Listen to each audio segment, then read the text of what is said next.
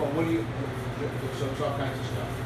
So you're buying it from the Valley Hive, you don't have one, so you just wanna buy one treatment or two treatment, right? And they'll sell you that. Okay.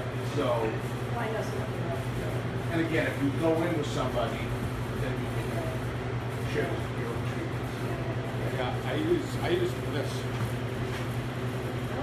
I saw that on the, oh, okay. So this thing comes out and then you I'm just just gonna take a picture you you. put the alcohol in, in the, in the cup and then you can put the bees in the strainer. thing. Easy peasy.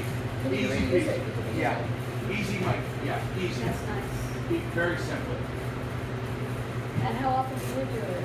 Um, I, I try and check all the hot at least once or twice a year. Oh, okay.